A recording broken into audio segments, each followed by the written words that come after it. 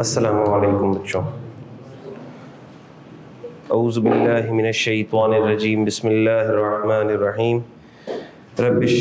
सदरी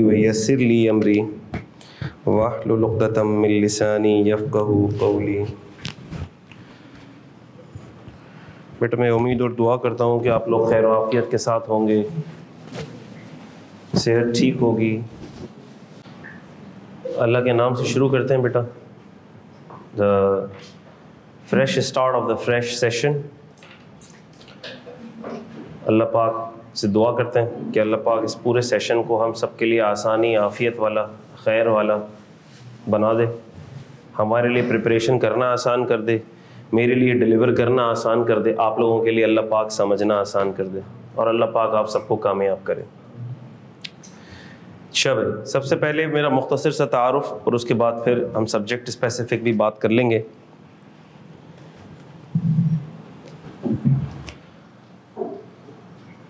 दे दी मार्कर्स दे दिए?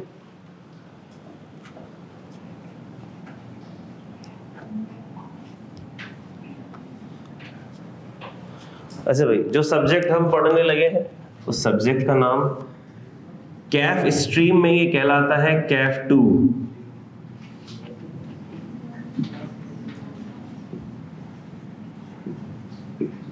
Tax practices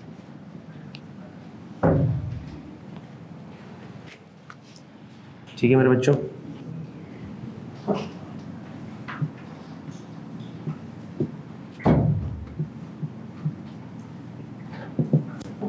faculty member मैं ही हूँ। ये सब्जेक्ट पूरा मैं ही पढ़ाऊँगा आपको।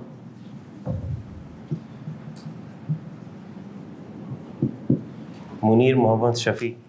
ये मेरा नाम है, आप लोग जानते हैं, नाम शाम तो जानते हैं आप लोग, ठीक है? अल्हम्दुलिल्लाह I am a fellow chartered accountant and a fellow member of A C C as well ठीक है? और अल्हम्दुलिल्लाह, काफ़ी सालों से टीचिंग में इन्वॉल्व हूँ। एरिया ऑफ़ एक्सपर्टीज़ विच अलहमदिल्ला आई पजेस वो मैं पढ़ाता हूँ सी ए का टैक्स का सब्जेक्ट पढ़ाता हूँ ए सी सी ए वालों को स्ट्रेटेजिक बिज़नेस रिपोर्टिंग और एडवांस्ड ऑडिट पढ़ाता हूँ। और अल्हम्दुलिल्लाह I am involve in audit and tax practice 2013 में क्वालिफाई किया के पी एम जी से। उसके बाद फिर एक साल फर्म में सर्व किया असिस्टेंट एज असिस्टेंट मैनेजर उसके बाद then I move into industry फिर पाँच साल मैंने इंडस्ट्री में सर्व किया at a senior position and then I ultimately decided to quit that job फिर मैंने अपनी फर्म स्टार्ट की। अल्हम्दुलिल्लाह अल्लाह पाक ने इज़्ज़त दी, अल्लाह पाक ने टीचिंग के प्रोफेशन में अल्हम्दुलिल्लाह बहुत इज़्ज़त दी, अल्लाह पाक ने प्रैक्टिस में बहुत इज़्ज़त दी।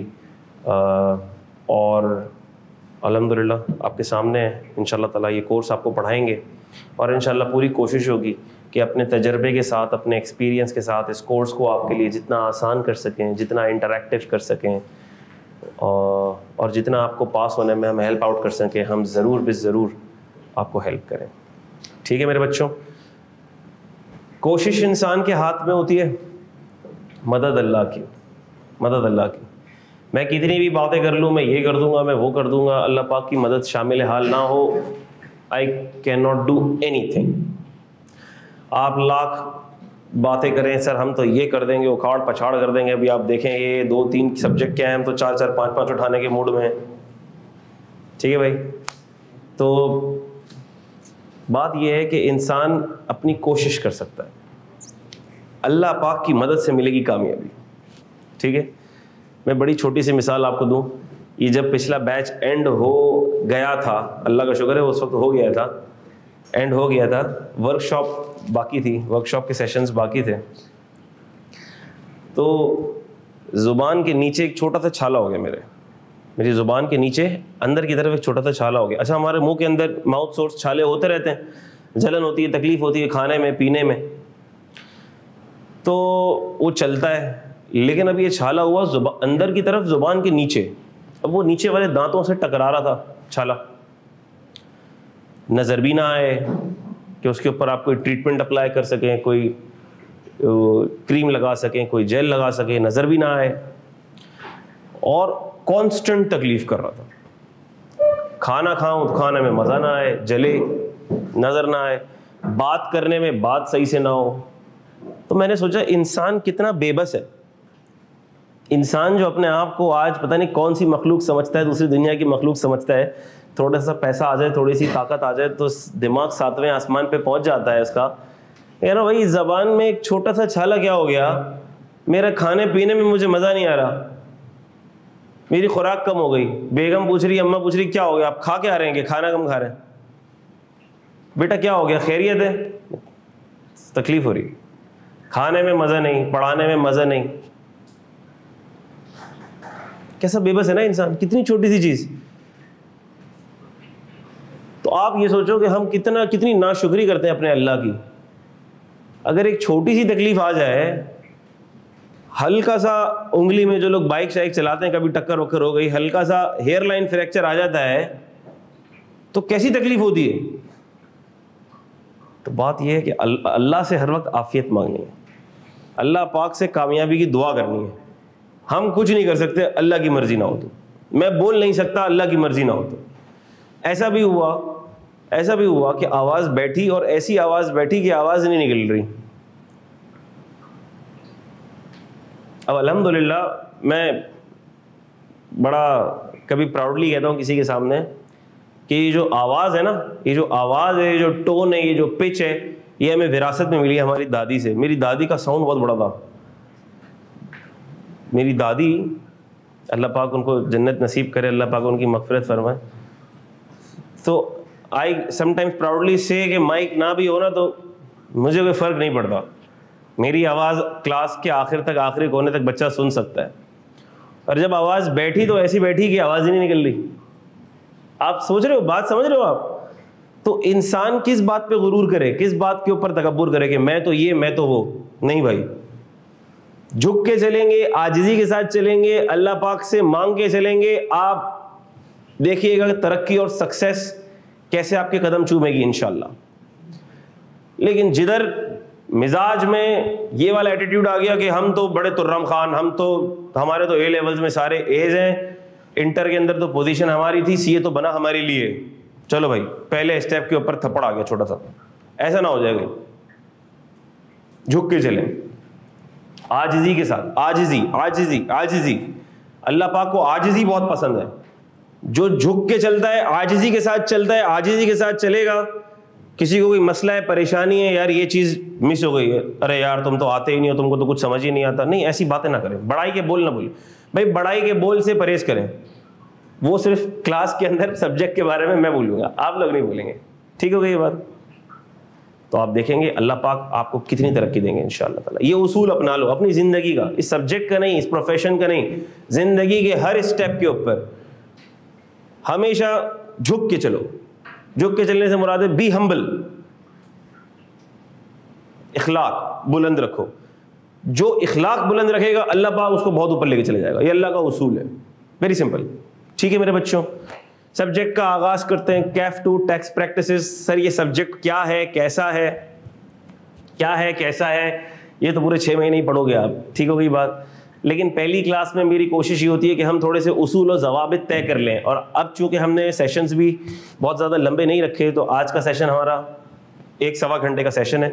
कंजेकेटिव सेशन होंगे, ये आपको पता है। डेली बेसिस पर। Monday Tuesday Wednesday Thursday Friday daily आना है एक चक्कर में सारे सब्जेक्ट आपके कवर हो रहे होंगे बैक टू बैक क्लासेस होंगी और इंशाल्लाह तीन, साढ़े तीन बजे फारिग होकर घर चले जाओगे। सैटरडे संडेज हमने ऑफ़ कर दिए हैं स्टूडेंट्स की कन्वीनियंस के लिए ताकि स्टूडेंट्स आएँ, बहुत, मैंने ये नोट किया, मैंने लास्ट अटैम्प्ट में बहुत ज़्यादा और उससे लास्ट अटैम्प्ट में थोड़ा, लेकिन लास्ट अटैम्प्ट में मैंने ये काफ़ी नोट किया कि स्टूडेंट्स का अटेंशन स्पैन कम होता चला जा रहा है।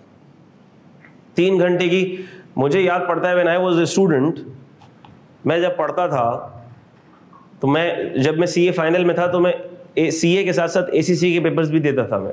अब एसीसी के पेपर्स पढ़ने का क्लासे लेने का टाइम तो नहीं मिलता था।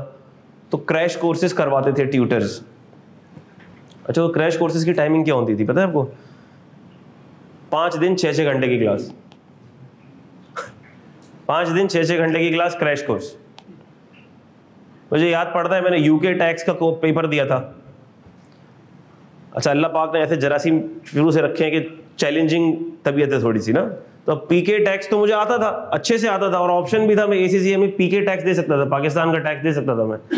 नहीं यार, पाकिस्तान का टैक्स तो पड़ा हुआ है, क्या फ़ायदा देने का? यूके का टैक्स देते हैं। टाइम था नहीं। और क्लाइंट के ऊपर इंगेजमेंट ऐसी चल रही थी, रात के दो दो बजे मैं घर आता था। उसके बावजूद मैंने यूके का पेपर उठा लिया यूके टैक्स का पेपर उठा लिया। पढ़ने का टाइम ही नहीं था पेपर करीब आ रहे हैं, आ रहे हैं, आ रहे हैं, आ रहे हैं, आ रहे हैं। किताब ही नहीं खोली है। क्या करें? क्रैश कोर्स अनाउंस किया। एक टीचर ने क्रैश कोर्स अनाउंस किया। बड़े ज़बरदस्त टीचर थे, बहुत अच्छे टीचर थे। आई कैप के मेंबर हैं आई कैप की टेक्निकल कमेटी के हेड भी रहे हैं और अब आईबीए के डीन हैं। सर हारून तबरेज नाम है उनका। तो वो पढ़ाते थे यूके का टैक्स तो उन्होंने थ्री डेज़ का क्रैश कोर्स लॉन्च किया। थ्री डेज़ का। टाइमिंग पता क्या थी? Nine to five three days की टाइमिंग थी consecutive three days nine to five nine to five nine to five nine to five भाई, प्यासे को क्या चाहिए? पानी? कुआँ सामने? तीन दिन का क्रैश कोर्स है। किताब हमने खोली नहीं है। ले लेते हैं क्रैश कोर्स और आप यकीन करो, उस तीन दिन के अंदर इतना इंजॉय किया मैंने। इतना इंजॉय किया, सोच है आपकी। और उन टीचर की तबीयत कैसी थी? कोई जोक नहीं, कोई हँसी मज़ाक नहीं एक स्माइल रहती थी बस उनके चेहरे पे, बड़ी प्यारी सी। सच अ सीरियस टीचर और नौ से पाँच के अंदर, उन्होंने सबसे पहले पूछा, आप मेरे को ऐसा तो नहीं जिसने कुछ भी ना पढ़ाओ अब मैंने कहा, मैं हाथ खड़ा करूँगा तो ये जलील कर देंगे। मैंने हाथ नहीं खड़ा किया।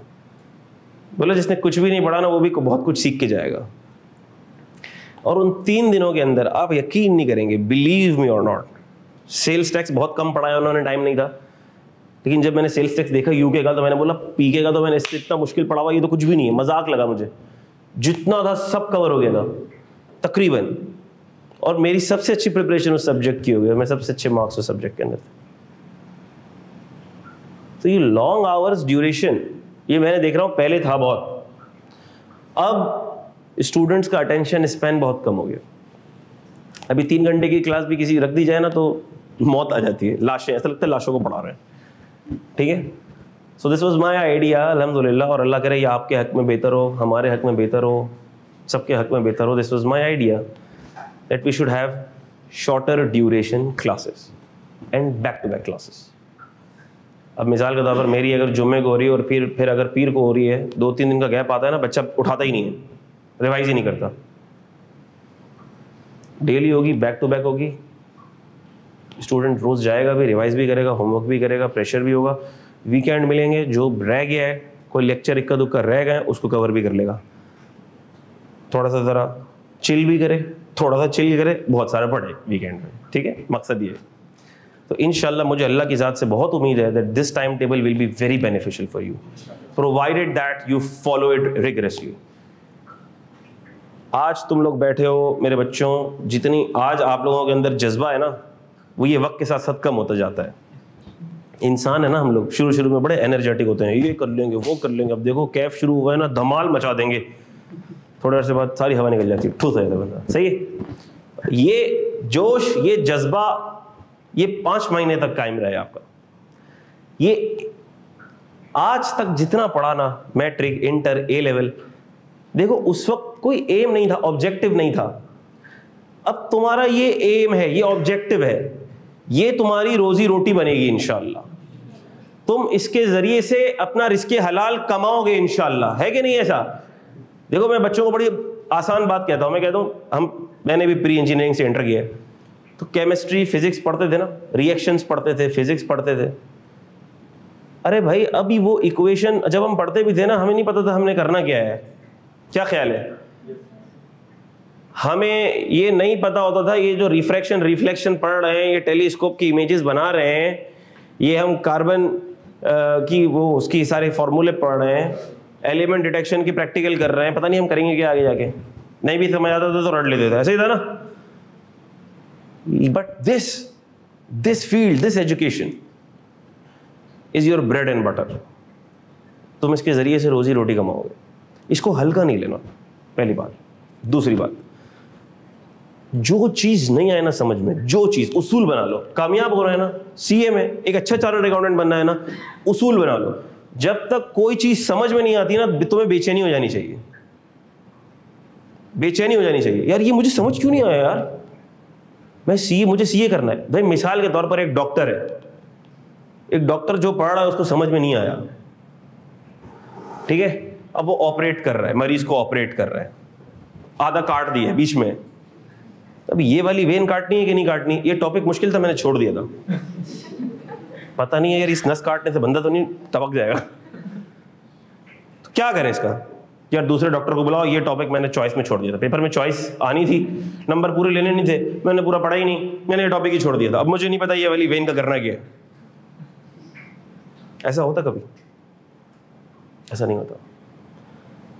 जो डॉक्टर होगा ना he will be very professional उसको पता है, अगर मैंने उल्टी सीधी नस काट दी तो ज़िंदगी गई इसकी। क्या ख्याल है? So this is the case here आपके पास आपका क्लाइंट आ रहा है, उसको टैक्स एडवाइस चाहिए। आपने गलत टैक्स एडवाइस दे दी। या आपको समझ ही नहीं था, आपने टॉपिक पढ़ा ही नहीं था अच्छे से, आपको वो टॉपिक समझ में नहीं आया था, भाई यार, सर से क्या पूछे, छोड़ कौन से सौ में सौ लेने अपने पास तो होना है, छोड़ दो। अब क्लाइंट आया, वो आपसे सजेशन मांग रहा है। सजेशन मांग रहे मेरे लिए कौन सी रिजीम बेटर है? फाइनल टैक्स रिजीम ऑप्ट कर लूँ मैं? ये नॉर्मल में ही रहूँ। ने बोला, यार फाइनल टैक्स रिजीम में भी ये सर्विसेज़ की टैक्सेशन ये तो हमने सही से पढ़ी नहीं थी। क्या क्या इसको सजेस्ट करो? ले यार, बस कसम से यही टॉपिक था जो सही से नहीं पढ़ा था हमने। हम आपको गाइड नहीं कर सकते। ऐसा बोलेंगे हम? यार, आप यकीन नहीं करोगे। हम उठते बैठते हैं ना तो कोई बंदा टैक्स का सवाल कर लेता है। ये ऐसा सब्जेक्ट है। अब मैं आ रहा हूँ सब्जेक्ट की इंपॉर्टेंस पे। बातों बातों के अंदर सब्जेक्ट की इंपॉर्टेंस शुरू हो गई, आपको पता नहीं चला सब्जेक्ट की इंपॉर्टेंस पे। This subject is so important from your professional career perspective इतना इंपॉर्टेंट है कि आपकी सोच होगी। चार्टर्ड अकाउंटेंसी अकाउंटेंसी से लोगों को लगता है अकाउंटिंग हमारा ओढ़ना बिछोना है। अकाउंटिंग आएगी तो अच्छे अकाउंटेंट बनेंगे। बहुत माजरत के साथ आप लोग अकाउंटिंग भी नहीं करोगे अपनी प्रोफेशनल लाइफ के अंदर। बहुत माजरत के साथ। जितनी तुम बैलेंस शीटें बनाओगे ना, सिर्फ़ क्लास में बनाओगे प्रैक्टिकल रियल वर्ल्ड में कुछ भी नहीं बनाओगे। क्यों? सॉफ्टवेयर के अंदर सिर्फ़ बीकॉम वाला लड़का डेटा एंट्री करेगा क्लिक करेगा बैलेंस शीट और पीएनएल तो ऑटोमेटिक निकलेगा। सर क्या हमें वहाँ पे बैलेंस शीट टाई नहीं करनी पड़ेगी? कुछ भी नहीं करना पड़ेगा। आज अगर कोई सिस्टम कोई ईआरपी e जिसके अंदर ट्रायल बैलेंस टाई नहीं होता, वो ईआरपी e कहलाने के लायक नहीं होता। आर यू गेटिंग दिस लेकिन टैक्स इतने साल हो गए मुझे। आज भी किसी भी महफिल में जाता हूँ, दावत में जाता हूँ। कभी आज तक किसी ने दावत में ये नहीं पूछा, मुनीर साहब ज़रा ये तो बता दें I F R S nine के अंदर फाइनेंशियल एसेट्स की क्लासिफिकेशन कितनी है? किसी ने नहीं पूछा। लेकिन जिधर कहीं बैठ जाऊँ ना और किसी को पता लग जाए, और ज़ाहिर सी बात है सबको पता होता है ख़ानदान के अंदर, रिश्तेदारों के अंदर, ये चार्ट अकाउंटेंट भाई साहब हैं, गिने चुने होते हैं। जिसको पता लग जाए ना, यार ये टैक्स बहुत लग रहा है, कोई तरीका है इससे कम, इसके कम करने का? अभी थोड़े दिन पहले मेरे कज़न का मैसेज आया, यार मुनीर, ये बिल के ऊपर टैक्स क्यों लग रहा है? मैंने कहा, इसलिए लग रहा होगा क्योंकि आपकी अब बिल पच्चीस हज़ार से ज़्यादा आया होगा, और जो बिल है, वो नॉन फाइलर के नाम के ऊपर आ रहा होगा तो इसलिए आपका एडवांस टैक्स लग रहा है। अगर आप अपना सी एन आई सी दे देते हैं सबमिट कर देते हैं आपका यूज़र फाइलर अपडेट हो जाता है आपके इलेक्ट्रिसिटी बिल के ऊपर एडवांस टैक्स आना ख़त्म हो जाएगा कितनी पते की बात थी? आज घर जाके सब अपना अपना बिल चेक कर लेना। मुफ़्त की एडवाइस दे दी मैंने तुम लोगों को बगैर पैसे लिए। अपना अपना घर का बिल चेक कर लेना। जिसके बिल के अंदर जिसका बिल अब आमतौर पर अभी महँगाई ऐसी हो गई है जिसके घर में थोड़े बहुत भी एसी चलते हैं पच्चीस हज़ार से ऊपर तो बिल आ ही जाता भाई। सही है? जाना नहीं चाहिए, लेकिन आ जाता है, ठीक है? तो अब पच्चीस हज़ार से ऊपर बिल आ गया होगा ना तो आप देखना क्या उस पर एडवांस इनकम टैक्स लग रहा है। अगर उस पर एडवांस इनकम टैक्स की अमाउंट आ रही है ना, इसका मतलब ये है, और सबका यही सीन होता है। इसका मतलब ये है कि आपका बिल जब भी बिल्डर ने बिल्डिंग बनाई होगी, जब भी किसी ने घर बनाया होगा, उसी के नाम पर बिल आ रहा होगा मीटर आपके नाम पर नहीं होगा, और वो दुनिया से जा चुका होगा, वो नॉन फाइलर होगा, वो नॉन फाइलर होगा उसका नाम एटीएल में नहीं होगा एक्टिव टैक्स पेयर लिस्ट में नहीं होगा तो एडवांस इनकम टैक्स लग के आ रहा होगा। हल क्या है, अब अब्बा को बोलना, आप टेंशन नहीं लें, आज मैं टैक्स की क्लास लेकर आया हूँ, आपके पैसे बचाऊँगा मैं। आप टेंशन नहीं लें। इसी काम के लिए तो मैं सी कर रहा था ना, फ़ायदा आज से देखेंगे आप। ये जो टैक्स लग रहा है ना, ये अगले महीने से नहीं लगेगा। अच्छा बेटा, क्यों, क्या, कैसे? बस आप अपने सी एन एस की कॉपी दे दें मुझे। के इलेक्ट्रिक की वेबसाइट पे जाओ। ये अपने ऐप डाउनलोड करो। उसके अंदर आप क्या करो? Change of user change of user की रिक्वेस्ट करो, सारे पर्टिकुलर्स डालो बिल के। सी एन सी डालो एन टी एन शेंटीन मांगेगा, वो डाल दो अपने अब्बा का बशर्ते कि आपके अब्बा फाइलर हो ए टी एल में नाम हो उनका, जो मैं उम्मीद करता हूँ होंगे। और अगले बिल के अंदर वो एडवांस टैक्स लग के नहीं आएगा। इनशाला तो वो जो दो हज़ार, ढाई हज़ार, तीन हज़ार, हर महीने लग लग के आ रहा होगा। देखो, मैंने तो अपनी कोर्स की फ़ीस निकाल ली ना। बात समझ आ रही है? और ये मेजॉरिटी के साथ ये सीन होता है। मेजॉरिटी के साथ। किसी को पता ही नहीं है। पता ही किसी को नहीं है are you getting this so these taxation matters are link to our daily life daily life हर चीज़ में। हर चीज़ में टैक्सेशन इन्वॉल्व है। मोबाइल का रिचार्ज कर रहे हो तो टैक्स इन्वॉल्व है। बिजली का बिल भर रहे हो तो टैक्स इन्वॉल्व है। फ़ोन का बिल भर रहे हो टैक्स इन्वॉल्व है। गैस के बिल पे टैक्स इन्वॉल्व है। बैंक से कैश निकाल रहे हो टैक्स इन्वॉल्व है सैलरी कमा रहे हो टैक्स इन्वॉल्व है, सांस ले रहे हो टैक्स इन्वॉल्व नहीं है, हो जाए, कुछ पता नहीं है। गवर्नमेंट जिस पैटर्न पर चल रही है, कुछ पता नहीं है। ऑक्सीजन फ्री कैसे मिल रहा है? टैक्स जिस इलाके के अंदर ओपन एयर ज़्यादा आ रही है, समंदर के साहिल समंदर के करीब है, उनके ऊपर ज़्यादा। जो थोड़े से ज़रा ऐसी जगह पर हैं जहाँ हवा का दबाव कम है, वहाँ कम लगेगा। हो सकता है। पैसे ज़रूर, पैसों की बहुत ज़रूरत है मुल्क को। तो बात समझ आ रही है? इतना इंपॉर्टेंट सब्जेक्ट है ये। मतलब आप जैसे ही कोई बंदा सुनेगा ना खानदान के अंदर, आप सीए कर रहे हो। अब उसको नहीं पता लगेगा कि अभी अब अंडे से निकले हुए चूजे भी नहीं हो, अंडे के अंदर ही हो भी पीआरसी के लेवल पर कैफ के लेवल पे बैठे हुए हो। लेकिन जैसे ही आपने बोला ना, मैं तो सीए कर रहा हूँ, हो पहली बात तो ये इमेज यहाँ से उठ के यहाँ आ जाता है। सीए कर रहा है। अब पता नहीं कर रहा है का सीखा कब तक चलेगा, लेकिन चल रहा है अभी तो। ठीक है? अच्छा फिर वो जैसे ही बेटा, ये टैक्स क्यों इतना ज़्यादा होता है? ये टैक्स बहुत लगता है। आपको कुछ अंदाज़ा है इस बारे में? और कोई बात नहीं करेगा, सिर्फ़ यही बात करेगा टैक्स टैक्स से शुरू होगी टैक्स पे खत्म होगी बात। बस। सर, लेकिन हम तो चैंपियन अकाउंटिंग के हैं, लेकिन बात टैक्स की होगी। इतना important so you are assume to be a tax expert when someone hears that you are studying chartered accountancy, or when someone gets to know that you are a chartered accountant you are assumed to be tax experts. Assumed. आप उसको लाख बोलो, भैया, मैं tax से बहुत दूर हूँ। मेरा पसंदीदा सब्जेक्ट भी नहीं है। नफरत थी मुझे टैक्स से. वो बार आपको चार्टर्ड अकाउंटेंट तस्लीम ही नहीं करेगा। ये सब्जेक्ट ऐसा है। इसलिए नहीं कह रहा कि ये मेरा सब्जेक्ट है। यकीन करो यकीन करो। किसी से भी पूछ लो। ये मैं आपको रियलिटी बता रहा हूँ। फैक्ट बता रहा हूँ मैं आपको। इतना इंपॉर्टेंट सब्जेक्ट है।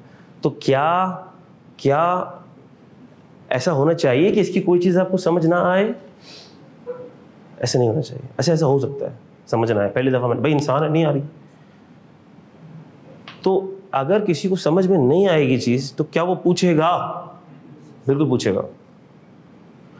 देखो, अल्लाह पाक ने ना वक्त के साथ साथ टीचर को ऐसी बसीरत दे देता है अल्लाह पाक, कि जब मैं पढ़ाता हूँ ना तो मुझे शक्ल देख के पता लग जाता है किसको हजम हुआ है और किसको हजम नहीं हुआ है। और आप यकीन करो, मैं जो टॉपिक पढ़ाऊँगा, जब भी पढ़ाऊँगा, जब भी मैं पूछूँगा ना, क्या सबको बात समझ आ गई? इक्का दुक्का के अलावा जो थोड़ी हिम्मत करने वाले बच्चे होंगे, सवाल पूछने वाले बच्चे होंगे, जिनको अपने मुस्तकबिल से प्यार होगा, उसके अलावा सब बोलेंगे, जी सर, सब समझ आ गया। बेटा, कोई मसला तो नहीं नहीं सर, कोई मसला नहीं। कोई परेशानी तो नहीं नहीं सर, कोई परेशानी नहीं है। तो फिर फेल क्यों होते हो भाई? जब मसला कोई नहीं होता, परेशानी कोई नहीं होती कॉन्सेप्ट तुमको सारे समझ आते हैं सवाल तुमको सारे समझ आते हैं तो फिर फेल कैसे होते हो? हो सकता है बंदा फेल हो सकता है फिर? बहुत अफसोस की बात है। बहुत अफसोस की हम अपने आप से सिंसियर ही नहीं है, माजरत के साथ। मेरी बातें अगर कभी बुरी लगें, दो रोटी ज़्यादा खाना भाई, लगें तो लगे। घर जाके गुस्से में आके थोड़ा ज़्यादा पढ़ना शुरू कर देना। समझ रहे हो बात, समझ रहे हो? तो बात यह है कि हम अपने आप से सिंसियर नहीं हैं।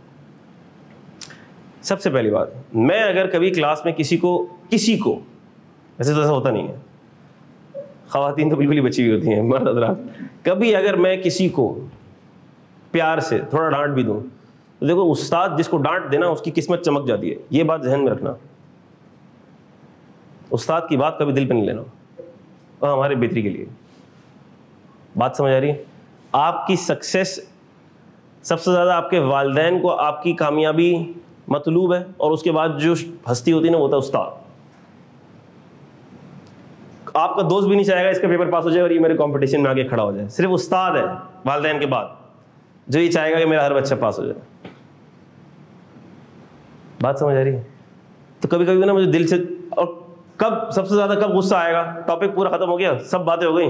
उसके बाद ऐसा कोई सवाल कर लिया, आग लग गई कि यार इस बच्चे को पूरा टॉपिक समझ कैसे आया होगा जब इसने ये सवाल अब किया है? कहते ना मिसाल देते ना कि पूरा किस्सा सुन लिया आपने, उसके बाद आपने सवाल कर लिया, जुलेखा मर्द थी औरत। उस वक्त नेचुरल है कि उस्ताद को गुस्सा आएगा कि भैया, ये तो पहले स्टेप पे पूछने वाली चीज़ थी मेरे बच्चे।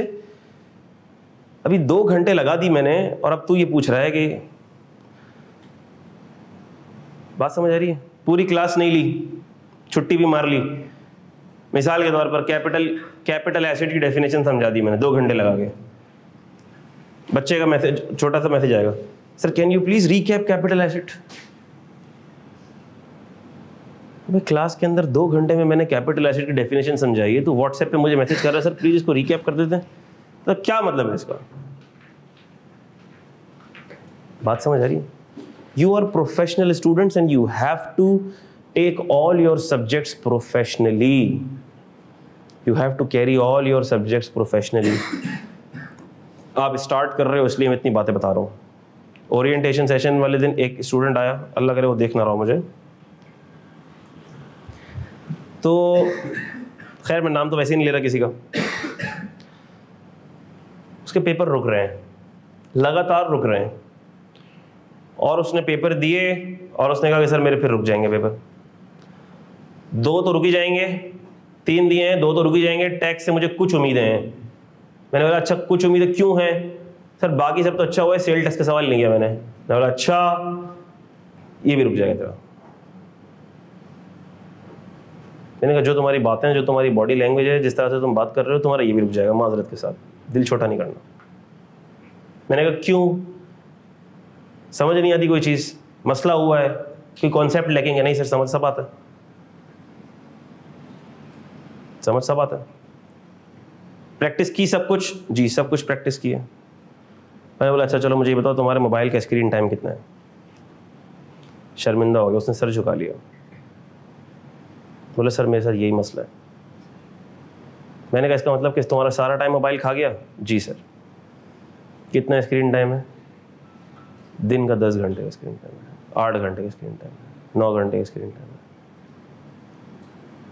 क्या ख्याल है? पढ़ाई होगी? अफसोस, आप लोग अपने मुस्तकबिल के साथ खेल रहे हो। बहुत अफसोस होगा, वक्त निकल जाएगा। और ये ऐसी ऐसा जालिम प्रोफेशन है ना, बहुत कीमती प्रोफेशन बहुत कीमती प्रोफेशन हद से ज़्यादा कीमती प्रोफेशन मैं आपको नहीं बता सकता कि अगर आप लोग सी क्वालिफाई कर जाओगे तो आप लोग कितने प्रिविलेज होगे। ये आपको वक्त के साथ पता लग जाएगा इनशाला लेकिन उतना ही कातिल प्रोफेशन सर, ये कीमती और कातिल दोनों काफ काफ से आते हैं तो हो सकते हैं। कातिल प्रोफेशन क्यों है? इतना कातिल प्रोफेशन है। आपके साथ का दोस्त स्कूल में मैट्रिक साथ किया इंटर साथ किया ए लेवल साथ किया। वो पढ़ रहा है, आप नहीं पढ़ रहे। टक टक टक टक करके सीए की मनाजिल तय करता जाएगा और आप सिर्फ़ उसको तकते रह जाओगे हसरत के साथ। सर, इंटर में मेरे दो मार्क्स ज़्यादा थे इससे। वो तो कहाँ निकल गया? ये एमबीए थोड़ी है। तर्स खा के टीचर मार्क्स दे देगा पासिंग मार्क्स दे देगा पास कर देगा। अटेंडेंस के मार्क्स मिल जाएँगे प्रेजेंटेशन के मार्क्स मिल जाएँगे। एम बी थोड़ी चल रही है। इसमें फेल तो ऐसा फेल ऐसी ब्रेक लगेगी, ऐसी ब्रेक लगेगी, ऐसी ब्रेक लगेगी। तड़पोगे, आगे नहीं जा सकोगे। तड़पोगे। 49 पे भी बच्चे रुकते हैं और अब उनकी डिसअपॉइंटमेंट देखा करें आप, सोचे, मेरा दिल खून के आँसू होते हैं उनको देख के। इतना दिल जलता है मेरा। को बच्चा आता है ना, इतनी परेशानी बताता है। आप यकीन नहीं करेंगे, मुझे कितनी तकलीफ़ होती है, मैं बता नहीं सकता। लेकिन बहर तौर मेरा काम होता है, उसको तसल्ली देना, उसको थोड़ा सा मोटिवेट करना। तो मैं ये चीज़ें एक्सप्रेस नहीं करता होता, लेकिन मुझे बहुत तकलीफ़ होती है। सर, मेरा 48 पे रुक गया, मेरा 49 पे रुक गया, उफ़। छः महीने की मेहनत एक मार्क पे रुक गई, कितनी तकलीफ़ होती होगी? ये मुझे इतनी हो रही है, उसको कितनी होती होगी? लेकिन उस वक्त पछताने का कोई फ़ायदा नहीं है जब चिड़िया चुग गई खेत। आज फ़िक्र कर लो, आज पछता लो, आज टेंशन ले लो, आज पढ़ लो। आज हमारे हाथ में है। बाद में सिर्फ़ पछतावा रह जाएगा। सिर्फ़ पछतावा और कुछ नहीं। और ये सब्जेक्ट ऐसा सब्जेक्ट है, इस सब्जेक्ट के बारे में बातें करना मैं शुरू कर ही चुका हूँ। One of the easiest subject of CAF stream to pass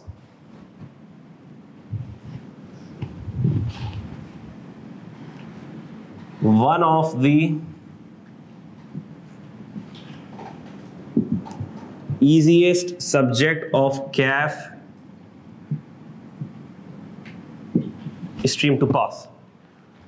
Provided आपको समझ आए। बहुत इंटरेस्टिंग सब्जेक्ट है। बहुत इंटरेस्टिंग सब्जेक्ट है। आपको खुद अंदाज़ा हो जाएगा। हो सकता है थोड़े दिनों बाद अगर आपके फेवरेट सब्जेक्ट्स की लिस्ट में अकाउंटिंग अकाउंटिंग आता है तो हो सकता है कि ये उसको भी टेक ओवर कर जाए। इतना इंटरेस्टिंग सब्जेक्ट है ये इनशाला ऐसा होगा। तो होता क्या है? इसको लोग लाइट लेना शुरू कर देते हैं। इसको आसान लेना शुरू कर देते हैं। बहुत बच्चे सर ने तो पढ़ा दिया, सब तो समझ आ गया। सर ने क्लास में सवाल भी करा दिया, सवाल भी आ गया समझ में। अरे भाई, समझ तो आ गया, तूने घर जाके याद किया, उसको नहीं किया। आज समझ आया, दो दिन बाद निकल जाएगा। इंसान भूल जाएगा ना भाई। सबसे बेस्ट तरीका क्या है? आज टीचर ने पढ़ाया, घर जाके उसको एक दफ़ा पढ़ लो। अल्लाह की ज़ात से उम्मीद है। अपने बारे में, देखो, अगर कोई ऐसी बात है जो मैं अच्छा कर सकता हूँ तो उसकी भी सारी तारीफ़ है अल्लाह के लिए, क्योंकि अल्लाह पाक ने मुझे इनेबल किया तो मैं कुछ अच्छा कर पा रहा हूँ ना। मैंने कोई कॉन्सेप्ट बहुत अच्छा समझा दिया, आपको समझ आ गया। मैंने कोई टॉपिक बहुत अच्छा पढ़ा दिया। आने वाले सर ने क्या टॉपिक पढ़ाया तारीफ़ अल्लाह की, क्योंकि इस काबिल किसने किया है? अल्लाह पाक ने किया तो जो भी तारीफ़ है वो अल्लाह की है। तो मिसाल के तौर पर आपको अच्छा समझा गया बहुत टॉपिक समझा दिया। तो होना क्या चाहिए था? होना ये चाहिए था, सोने पे सुहागा करो, घर जाके आज एक दफ़ा पढ़ लो, याद हो जाएगा। गारंटी दे रहा हूँ मैं। आज हमने टॉपिक पढ़ा, तुमने घर जाके एक दफ़ा रीड कर लिया, रटना भी नहीं पड़ेगा तुमको, और तुमको याद हो जाएगा इनशाला एक से दो दफ़ा। लेकिन अगर तुमने वो टॉपिक नहीं पढ़ा, छोड़ दिया, तुम यकीन करो, एक हफ़्ते बाद ना तुमको उसके कॉन्सेप्ट याद रहेंगे, ना तुमको उसकी लिमिट्स याद रहेंगी। लिमिट्स भूल जाओगे तुम। उस वक्त घर जाके एक दफ़ा पाँच मिनट पढ़ लेते। दिमाग के अंदर नक्श हो जाता। कपड़े होते ना कुर्चल। उसके ऊपर आप इस्त्री करो प्रेसिंग करो, कैसे हो जाते? सीधे हो जाते, नहीं हो जाते? ये घर जाके अगर मैंने पाँच मिनट अपने कॉन्सेप्ट के ऊपर थोड़ी सी जरा आयरन वायरन कर ली होती तो कैसा सीधा हो जाता? ओहो। तुम मुझे एक बात बताओ, मिसाल कह रहा हूँ। सैलरी इनकम बढ़ा रहा हूँ मैं, सैलरी इनकम बढ़ा रहा हूँ, घंटों लगा रहा हूँ सैलरी इनकम के ऊपर, घंटों। जितनी डिटेल में टॉपिक के वक्त में पढ़ाऊँगा, उसके बाद पूरे बैच में कभी भी उतनी डिटेल में पढ़ाऊँगा। रिकैप होगा, सवालों की प्रैक्टिस होगी कॉन्सेप्ट आएगा रिकैप हो जाएगा रिफ्रेश हो जाएगा बार बार रिकैप रिफ्रेश हो जाएगा। पाँच मिनट में, दस मिनट में वर्कशॉप के अंदर रिकैप हो जाएगा रिफ्रेश लेकिन जितनी डिटेल में मिसालें दे दे के सवाल करवा करवा के उस वक्त करवा रहा हूँ टॉपिक फिर कराऊँगा कभी? टाइम ही नहीं सैलरी के ऊपर मैंने तीस घंटे लगा दिए। तुम्हारा तीस घंटे कभी कभी देगा? तो उस टॉपिक को पक्का करने का बेस्ट टाइम कौन सा है? जब वो टॉपिक चल रहा है। मेरे बेवकूफ़ बच्चों, बाद में नहीं। अभी तो सर की आवाज़ें भी दिमाग में घूम रही हैं, ख्वाब में भी सर आ रहे हैं सैलरी इनकम बढ़ा रहे हैं। हाँ हाँ एग्ज़ाम्पल दे रहे हैं, सर, इतनी सैलरी लग गई आपकी, ये मिल गया आपको, वो मिल गया। खुशी के मारे ही वो एग्ज़ाम्पल जहन में हाँ। सर, ये इस एग्ज़ाम्पल में ना, ये जो आपने मिस्टर ए की एग्ज़ाम्पल दी ना, वो मिस्टर ए नहीं है। सर, वो मैं हूँ। वो मैं हूँ, सर इनशाला अपने आपको बंदा ख्वाब में तस्वूर कर रहा होता है। बड़ा इंटरेस्टिंग टॉपिक है सैलरी इनकम जो हम पढ़ेंगे। तो घर जाकर अगर आप उसको रिकैप कर लो थोड़ी सी देर, कैसा पक्का हो भूलोगे कभी? Never ever are you getting this सारे ये कोशिश करोगे? इनशाला अपने आप से सिंसियर होना है। फिर कुछ बाकी बातें तो चलती रहेंगी। कुछ उसूली बातें। उसूली बातें क्या? इन ताला, कल या परसों आपको फ़र्स्ट हैंड आउट मिल जाएगा। अभी तो हम बेसिक कॉन्सेप्ट्स बोर्ड पर डिस्कस करेंगे, मैं समझाऊँगा आपको बातें। हैंड आउट पर आने से पहले थोड़ी सी ज़रा बेस बनानी पड़ेगी मुझे। कल या परसों आप लोगों को फ़र्स्ट हैंड आउट मिल जाएगा इनशाला फ़र्स्ट हैंड आउट के बाद कोई हैंड आउट नहीं मिलेगा, फिर इनशाला आपको बुक मिल जाएगी। ठीक हो गई बात? उसमें फ़र्स्ट हैंड आउट भी शामिल होगा तो बुक आपको मिल जाएगी इनशाला और हम उस बुक के हिसाब से ही सारा की सारी चीज़ें अपनी स्टडी करेंगे, लेके चलेंगे। सारे प्रैक्टिस क्वेश्चन सारे पास पेपर हर हर चीज़ उसी बुक के अंदर समरी सब कुछ आपको उसी बुक के अंदर मिल जाएगी इंशाल्लाह। इसका मतलब ये है कि जब आप खुद आओ, तशरीफ़ लाओगे तो वो किताब भी साथ में तशरीफ़ लाएगी। किताब के बगैर आप तशरीफ़ मत लाना। हैंड आउट दे दिया तो हैंड आउट भी साथ में आएगा। सर, मैं भूल गया। बेटा, ये ज़रा सवाल करो पेज नंबर टू के ऊपर। सब अपना अपना सवाल अटेम्प्ट करें। इधर देख रहा, उधर देख रहा। क्यों बेटा, क्या हुआ? सर मैं हैंड आउट भूल गया। खाना खाना भूलते हो? नहीं भूलते ना? हाँ भूले से दो, तीन तीन की चार चार दफ़ा खा लिया। ये भूल हो जाती है। ये वाली भूल हो जाती है। तीन की जगह चार दफ़ा खा लिया हाँ? शाम के स्नैक्स भी खा लिए। नाश्ते के बाद दूसरा नाश्ता भी कर लिया, ये तो भूले से हो जाता है। कम नहीं होता। ऐसे ही ना? तो ये हैंड आउट भूलता कैसे बंदा? समझ नहीं आती मुझे बात। अच्छा फिर टैक्स रेट्स अच्छा वो किताब के अंदर ही होते हैं। देखो टैक्स रेट्स किताब के अंदर ही हैं, लगे हुए। या तो या तो क्या? किताब तो लानी पड़ेगी ना, पढ़ोगे, उसी में से सवाल उसी में से करोगे। अब वो टैक्स रेट्स के बगैर सवाल सॉल्व नहीं होगा। अब जरा वो बुक नहीं है तो टैक्स रेट्स भी नहीं है। ये नहीं करना, मेरे बच्चों। ये इंतहाई दर्जे की नेग्लिजेंस है और ये सीए के स्टूडेंट को जेब नहीं देती भाई। और खून खोल जाता है मेरे ऐसी हरकतें देख के। बात समझ आ रही है?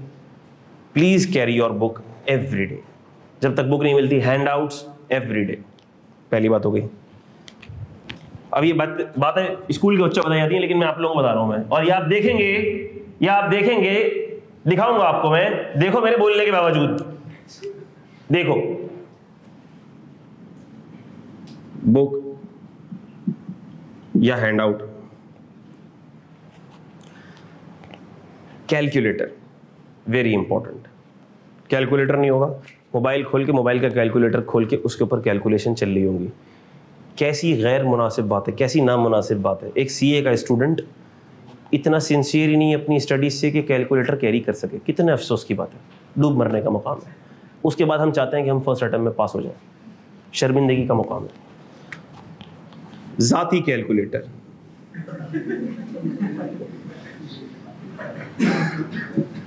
दूसरे का बोरो नहीं करना, उसको डिस्टर्ब नहीं करना। आप दूसरे को तंग करते हो। और देखो भैया, दोस्ती वोस्ती सीएम कुछ भी नहीं होती है। बात समझ आ रहा हूँ। सामने वाला बच्चा नहीं लाया, उसको बोले, यार आप तंग नहीं करो मुझे भाई, मुझे पढ़ने दो। आपके चक्कर में मेरा पेपर फेल हो सकता है। ठीक है? माजरत के साथ। क्या बार बार आप कैलकुलेटर मांग रहे हो? अपने लेके आओ भाई? बुरा लगता है, दो रोटी ज़्यादा खाओ। अच्छा है। ठीक है? जाती कैलकुलेटर कैलकुलेटर एक दफ़ा ले लो अच्छा सा ले लो भाई. है? क्या? क्लास में अलाउड है क्या?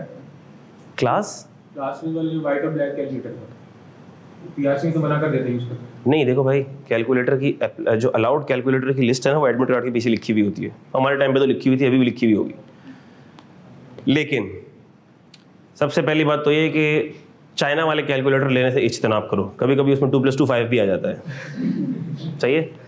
चाइना वाले कैलकुलेटर लेने से इज्तनाब करो। एक दफ़ा ले लो अच्छा कैलकुलेटर, ढंग के पैसे लगा के ले लो। ढंग का कैलकुलेटर मिलता है ढाई से तीन हज़ार रुपये का। ठीक है? जब मैंने लिया था, इंटर में लिया था, उसके, वो सी ए फाइनल तक चला।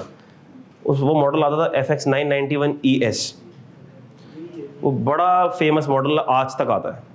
बहुत फ़ेमस कैलकुलेटर है वो। लेकिन उसकी चाइना की कॉपी लेने से अच्छा है, एक दफ़ा ढाई तीन हज़ार रुपये खर्च करके आप ले लो, वो आपके सी ए फाइनल के आखिरी पेपर तक इनशाला चलेगा। अगर आपके घर में कोई छोटा बहन भाई नहीं है और वो कैलकुलेटर उठा के पटक नहीं देता तो वो कैलकुलेटर इतनी आसानी से हार नहीं मानता। ठीक है? एक कैलकुलेटर पर जब आपके हाथ सेट हो जाता है ना, फिर उसी को यूज़ करो, हर क्लास में। टैक्स में अकाउंट्स में कॉस्टिंग में, हर जगह, हर वक्त वही कैलकुलेटर यूज़ होगा। फिर ये मोबाइल के ऊपर नहीं होगा। देखो स्पीड मैटर्स आपका पेपर है, आपकी आपकी ऐसी तैयारी होनी चाहिए। मेरी कोशिश ये होती है, आप खुद लिखो, आपका हाथ चले कैलकुलेटर पे आपके रजिस्टर पे आपका हाथ चले। एग्ज़ाम के अंदर आपका हाथ चलता हो। हमारे बच्चों के साथ मसला क्या होता है? टीचर ने समझाया, बहुत अच्छा समझ आया। टीचर ने सवाल कर लिया, वाह वाह वाह सर एक मिनट रुकें तो तस्वीर ले लें। आप भी जरा साथ में आ जाए सर यादगार रहेगी आपके साथ। अरे भाई, तस्वीर लेने के लिए नहीं था ये सवाल। खुद करना था। नहीं सर, वो हम घर जाके करेंगे। और वो घर जाके कभी भी करेगा नहीं, कभी भी नहीं करेगा। वो तस्वीर भी आर्काइव में चली जाएगी। पेपर से पहले मैसेज आते होते हैं सर, इसका तो सोल्यूशन दे दें, इसका सोल्यूशन तो दे दें। पहले बोले, बेटा, वो तो क्लास में किया था। अब कहाँ से आएगा सोल्यूशन गया तस्वीर खींच के भी आर्काइव हो गया वो। कुछ भी नहीं हुआ उसका। रजिस्टर पर नहीं आया वो। रजिस्टर पर नहीं आया ये नुकसान है आपका। सरासर हाथ चला लो। आपका हाथ चलेगा, घिस नहीं जाओगे। ये तुम्हें काम आएगा भाई, ये काम आएगा। इंसान के, इंसान को अल्लाह ने ऐसी एबिलिटी दी है, वो अपने जिस भी, अपनी बॉडी के जिस पार्ट का भी इस्तेमाल, दिमाग का इस्तेमाल करोगे शार्प होगा, ज़्यादा से ज़्यादा शार्प होगा। जितना हाथ चलाओगे, मजदूर को देखा है, कितने हाथ चलाता है? मजदूर मशीन जो चलाता है, जो मशीन लोग चलाते हैं, ईंटें रख रहे हैं मजदूर, उनके हाथ मज़ीद मज़बूत होते चले जाते हैं हाँ? क्या ख्याल है? जो लोग जिम जाते हैं वो सर, आ, ये इतने वज़न उठाएँगे, देखें आप कैसे मज़बूत हो गए, आप अगली दफ़ा और उठाएँगे, कैसे और उठाएगा भाई, तेरे हाथ तो घिस गए होंगे। नहीं नहीं, सर, उसमें तो और ताकत आ गई है। Same hold goods for this piece as well जितना चलाओगे, उतना शार्प होगा। हाथ, जितना लिखोगे, उतना तेज होगा। ठीक है, लेकिन जितना मोबाइल देखोगे, आँखें कमज़ोर होंगी। हर चीज़ के ऊपर ये चीज़ वैलिड नहीं ठीक है, वही बात। ज़ाती कैलकुलेटर पेन, उसके बाद पेन। सर पेन पे भी गाइडेंस मिलेगी? जी, पेन पे भी गाइडेंस मिलेगी। पेन, जो पेन आपको अच्छा लगता है, इस्तेमाल करो। कोई कोई बुराई नहीं है। मेरे ख्याल में ब्लैक पेन अलाउड है शायद। ब्लैक पेन तो ब्लैक पेन होना चाहिए। ब्लैक बॉल पॉइंट अच्छा सा जो भी पॉइंटर हो बॉल पॉइंट हो, जो भी तुम इस्तेमाल करते हो, कोई रोक टोक नहीं है। करो। लेकिन जो ब्लैक पेन पहले दिन इस्तेमाल करो, वही आखिरी दिन इस्तेमाल करो, वही पेपर में इस्तेमाल करो। Don't change your pen frequently हाथ जिस पेन पे सेट हो जाता है, वो सबसे बेस्ट है। पेंसिल से सवाल करने से मुझे चिड़ है। और कुछ बच्चों ने क्लास के अंदर कसम खाई हुई होती है कि सर को चिढ़ाना है। तो जब मैं कोई सवाल दूँगा, आप खुद देखेंगे, दो, तीन, चार बच्चे ऐसे होंगे कि वो पेंसिल से सवाल कर रहे होंगे। बेटा क्यों कर रहे पेंसिल से सवाल? सर घर जाके फेयर करेंगे हम। मैंने बोला, बेटा, वो वो वक्त कभी नहीं आएगा। वो वक्त कभी भी नहीं आएगा। मैंने देख लिया ना, कई बैचेस पढ़ा ली, वो वक्त कभी नहीं आता। अभी कर लो पेन से कर लो भाई। मत करो पेंसिल बुक के ऊपर सवाल के ऊपर ही सवाल सॉल्व हो रहा होगा। बुक के ऊपर सवाल के ऊपर ही सवाल सॉल्व हो रहा होगा। अरे भाई, कैसी बचकाना हरकत है। डोंट डू दिस यार। एग्जामिनर आपके मार्क्स आपके फॉर्मेट के पैटर्न पे काट रहा है, आपको पता है? आपकी प्रेजेंटेशन के ऊपर काट रहा है। एग्जामिनर को समझ ही नहीं आ रहा आपने क्या फालूदा बनाया उसके अंदर। ढंग से करो। आप यकीन करो, एक और एग्ज़ाम्पल अभी ओरिएंटेशन के ऊपर एक और, वो खातून से मुलाकात हुई।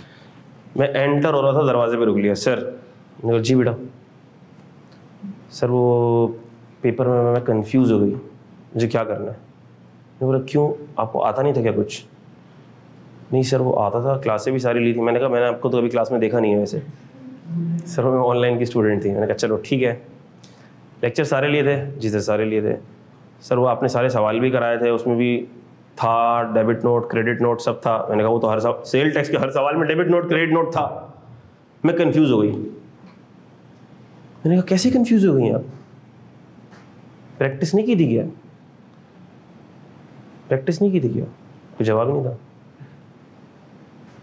चलो, उसमें पैनिक कर गई। पैनिक वो बच्चा करेगा जिसकी तैयारी अच्छी नहीं होगी। ये हमने अपने लिए अल्फाज ढूंढ लिए हैं। ये हमने अपने लिए राह फरार ढूंढ लिए हैं। ख़वातीन में मैंने ये बात ज़्यादा देखी। सर, वो मुझे ना पैनिक अटैक आ गया था। अच्छा this is not the first case यकीन करो आप, मज़ाक नहीं कर रहा मैं। इतने स्टूडेंट्स आते हैं और ऐसी ऐसी बातें मैं क्या बताऊँ सर, वो पैनिक पैनिक कर जाती हूँ मैं। अच्छा बेटा तो क्या हल है इसका? वो तो मुझे भी नहीं पता, सर। इसका एक ही हल है। इसका एक ही हल है। प्रैक्टिस मैक्सिमम प्रैक्टिस लिखो। कोई मसला है टीचर से पूछो। मुझे आप एक बात बताओ, अगर आप वेल प्रिपेयर्ड हो, आपको क्या चीज़ परेशान कर सकती है? कर सकती है कोई चीज़ परेशान? ये पैनिक इंसान होता कब है? जब उसकी तैयारी अच्छी नहीं होती। तो वो परेशान होना शुरू होगा, वो पैनिक होना शुरू हो जाएगा, मैं क्या करूँ, कैसे करूँ, किस तरह से करूँ? सो बी वेल प्रिपेयर्ड आज तहैया कर लो, अहद कर लो, सर ने जो पढ़ाना है, हमने पढ़ना है, कोई चीज़ छोड़नी नहीं है। स्टूडेंट क्या करते हैं? यार, ये टॉपिक ये तो बड़ा मुश्किल है रिवाइज करना। इसको छोड़ दो। इसको भी छोड़ देते मुश्किल लग रहा है। टाइम नहीं है। बचा ही नहीं है टाइम ऑनलाइन वाले बच्चे खास। ये चालीस लेक्चर पढ़े हुए हैं, कैसे देखेंगे? ये अकड़ बकड़ में वो, ये ये बीस तो छोड़ दो भाई। अच्छा भाई, ये बीस क्यों छोड़ दो? बस छोड़ दो। टाइम तो है नहीं। बाकी भी जो वो टू की स्पीड पे देखेंगे। खाक समझ आएगा टू की स्पीड पे, यहाँ पे वन की स्पीड पे समझ नहीं आ रहा बच्चों को। टू की स्पीड पे खाक समझ आएगा। तो ये धोखा है। हम अपने आप को अगर धोखा देते रहेंगे, हम कामयाब नहीं हो सकेंगे, मेरे बच्चों, बात समझ आ रही है? तो वही पेन यूज़ करो जो आप पेन यूज़ करते हो। दूसरी बात, ये रजिस्टर दिखाएँ बेटा। ऐसा एक रजिस्टर चाहिए है। ऐसा। ऐसा। इतना बड़ा पेज, इतना वाइड पेज। ठीक है, ये किसी ने अगर ऐसी कॉपीज़ भी ले ली हैं तो ठीक है। लेकिन बड़ा पेज होता है तो सवाल करने में मज़ा आता है। मज़ा आता है सवाल करने में। बात समझ आ रही है? बड़े बड़े सवाल हैं इनकम टैक्स के। सेल्स टैक्स के तो तीन तीन चार चार पेज पे जाएँगे सवाल। आपका रजिस्टर का पेज बड़ा और एग्ज़ाम की कॉपी भी बड़ी होती है। छोटी नहीं होती है। बात समझ आ रही है? एक रजिस्टर प्लीज़ टैक्स के लिए मुख्त कर लो। और जब आओ तो ये रजिस्टर घर छोड़कर मत आओ। इसी रजिस्टर के ऊपर फेयर काम भी करो, इसी रजिस्टर के ऊपर रफ काम भी करो। प्लीज़ मैं जब कभी भी होमवर्क देता हूँ घर के होमवर्क करके लेके सर, वो तो हम भूल गए। अच्छा भाई, कैसे भूल गए? वो कहाँ किया था? किया है, सर। किधर किया है? सर, वो होमवर्क हमने दूसरे रजिस्टर में किया। पहला दूसरा रजिस्टर नहीं होगा टैक्स के लिए सिर्फ़ एक ही रजिस्टर होगा और वही रजिस्टर होगा। इसी में रफ वर्क भी होगा, इसी में फेयर वर्क भी होगा, इसी में होमवर्क भी होगा, इसी में सब कुछ होगा, जो भी टैक्स का सिया सफ़ेद है वो इसके अंदर होगा। और कोशिश ये करो कि इसके साथ किसी की शिराकत दारी ना हो, इसके अंदर अकाउंट्स ना चल रहा हो, इसमें कॉस्टिंग ना चल रहा हो प्लीज़ जितनी प्रैक्टिस तुम लोगों ने करनी है और मैं कराऊँगा इन ताला ये रजिस्टर तो ख़त्म हो जाएगा। बात समझ आ रही है? मुख्त कर लो। भले अगर ये आपको ऐसा लगता है कि सर ये बहुत मोटा रजिस्टर है, ये 400 पेज का है, आप भले 200 पेज का एक पहला ले लो, ख़त्म हो जाए दूसरा 200 पेज का ले लो, कोई इशू नहीं है। इतना मोटा भले ना लो, लेकिन ऐसा ले लो। लेंथ और विथ ऐसी हो तो अच्छा है, मज़ा आएगा करने में। छोटी छोटी कॉपियाँ, यार, इतनी छोटी छोटी न्यू ईयर की डायरी में बच्चे सवाल करते हैं, यार, देख के दिल जल जाता है मेरा। यकीन करो तुम, ये बतानी पड़ रही है मुझे बातें, ये मज़ाक बातें नहीं है बड़ी सीरियस बातें हैं ये। यही at the end of the day आपके दो तीन मार्क्स मार जाती हैं और 46 47 में बच्चा फेल हो जाता है। मेरे नज़दीक इंपॉर्टेंट बात है। फिर एक और बात। आपको ऐसा लग रहा है कि हमने पढ़ना नहीं शुरू किया, हमने पढ़ना शुरू कर दी बहुत कीमती बातें मैंने आपको बता दी हैं। एक और बात क्रॉस रेफरेंसिंग ये मैं सबसे पहली क्लास में सिखाता हूँ क्रॉस रेफरेंसिंग आप बहुत कुछ पढ़ रहे होगे, मैं बहुत कुछ पढ़ा रहा हूँ आपको, आप रजिस्टर के ऊपर नोटिंग कर रहे होगे सवाल के जवाब कर रहे होगे? बोर्ड का काम कॉपी कर रहे होगे। होता गया होता गया होता गया होता गया होता गया। अब मिसाल के तौर पर आपने बुक में सवाल उठाया सैलरी इनकम का सवाल है, जो कि बुक के पेज नंबर 305 पर है। उसका सॉल्यूशन किया है रजिस्टर में मैंने। कहाँ किया है? टक टक टक टक टक टक, पेज ही पलट रहा हूँ मैं, पेज ही पलट रहा हूँ, पेज ही पलट रहा हूँ। मुझे मिली नहीं था सोल्यूशन कहाँ गया कितनी बड़ी बेवकूफ़ी की बात है। बुक के ऊपर पेज नंबर है जब कभी आप सवाल को रजिस्टर में सॉल्व करें, जैसे ही सवाल को रजिस्टर में सॉल्व किया सर ने सॉल्यूशन नंबर टू करवाया है कैफ स्प्रिंग 2018 का सॉल्यूशन करवाया है सर ने। रजिस्टर के अंदर आपने पूरा सवाल सॉल्व कर लिया। कर लिया सवाल सॉल्व इधर छोटा सा पेज नंबर डाल दो बुक का। पेज नंबर 256 अब ये पेज नंबर 256 लिख दिया सिर्फ़ आपने। ऑटोमेटिकली इट मीन्स कि ये बुक का पेज नंबर है। इसके सवाल के लिए आपने बुक का कौन सा पेज खोलना है? 256 बुक के पेज नंबर 256 के ऊपर आप रजिस्टर का पेज नंबर डाल दो। इस रजिस्टर के सारे पेजेस को नंबर्ड कर दो। कैसे नंबर्ड कर दो? रजिस्टर के ऊपर छोटा सा one two three four five six seven eight numbering चलाते रहो। एक साथ नंबरिंग करने में मौत आती है, कोई मसला नहीं है। बीस बीस करके रोज कर लो। दस दस करके कर लो। अभी क्लास शुरू हुई है। दस नंबर डाल दिया बात समझ आ गई? इसका मतलब क्या है? अगर आपने किताब उठाई है रिवाइज करने के लिए you can revise from book ये सवाल आ गया। यार, इस सवाल का सोल्यूशन कहाँ देखो? रजिस्टर के पेज नंबर 101 पे। ठक, खोला। ओ, ज़बरदस्त। रिवाइज हो गया। बुक बुक से रिवाइज कर लिया। आप रजिस्टर से रिवाइज करना चाह रहे हैं। रजिस्टर खोल के रिवाइज करते हैं। यार सर ने जो कॉन्सेप्ट कराए हैं, पढ़ाए हैं, देखते हैं, वो रजिस्टर से रिवाइज कर लेते हैं सारा। अब रजिस्टर भी पूरा रिवाइज कर लेते हैं। आप रजिस्टर घुमा रहे हैं।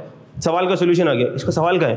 पेज नंबर 256 ठक बुक खोली पेज नंबर 256 पहुँच ऐसा ऑर्गेनाइज करो अपना काम के पढ़ना आसान हो जाए।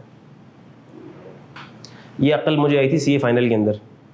जब मैं फर्म में गया और के में गया तो के पी अब फर्म में आप जाओगे तो सबसे पहले आप, सबसे पहले दिन आपको रेफरेंसिंग सिखाएँगे। फाइलों की रेफरेंसिंग सिखाएँगे। कि वर्किंग पेपर फ़ाइल की रेफरेंसिंग कैसे होती है? अब तो ऑनलाइन हो गई सारी। उसके अंदर भी ऑनलाइन रेफरेंसिंग होती है। तो तब सी ए फाइनल जब के में मैं गया, तब मैंने रेफरेंसिंग सीखी। यार, कितनी पते की चीज़ है रेफरेंसिंग टॉप शीट से वर्किंग रेफर हो रही है वर्किंग से डॉक्यूमेंट रेफर हो रहा है। रिव्यूअर जब फ़ाइल रिव्यू कर रहा है तो वो ठक ठक ठक रेफरेंस के थ्रू सारे डॉक्यूमेंट पे पहुँच गया उसने रिव्यू कर लिया। बोला, यार, वाह, क्या तरीका है? उसके बाद मैंने सी ए फाइनल के सारे सब्जेक्ट्स में अपने हैंड आउट्स पे और अपने रजिस्टर के ऊपर क्रॉस रेफरेंसिंग करना शुरू कर दी।